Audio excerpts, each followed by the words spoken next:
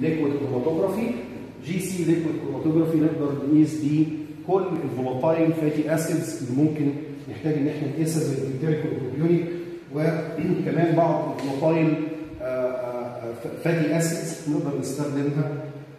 آه، كمان عندنا آه، لما بنقدر نقيس نحب نقيس بعض المكونات العلفيه علشان نشوف ال fiber content والجوده بتاعه المكون العلفي بالنسبة لنا ممكن نستخدم بستيريو طيب ميكروسكوب. عندنا electric balance وكذلك في عندنا وحدة تحليل ال digestion وحدة ال digestion وال distillation اللي خاصة بالاعلاف اللي هي الوحدة اللي عندنا الفيل. كمان في عندنا جهاز مميز جدا اللي هو الاف تي ان اي ار الاف تي ان اي ار ممكن نستخدمه عشان نقيس المكونات العلفيه بتاعتنا في أقل من دقيقتين. عندنا كمان ال muffle furnace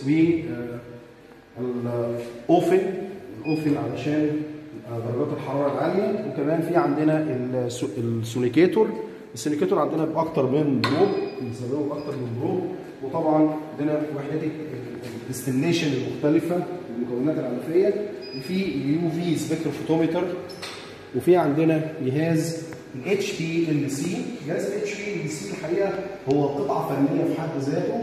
في ال fluorescent detector وفي ال UV detector فال photodiode array بنستخدمه وهو فيه autosampler كمان. فطبعا الجهاز من شركة Waters و بتقدر الوحدة إن هي نقدر نعمل بيها من خلال مجموعة من ال multi parameters في تحليل الأعلاف والتطبيقات الأخرى جهاز ال HPLC ممكن بنستخدمه في أكثر من تطبيق.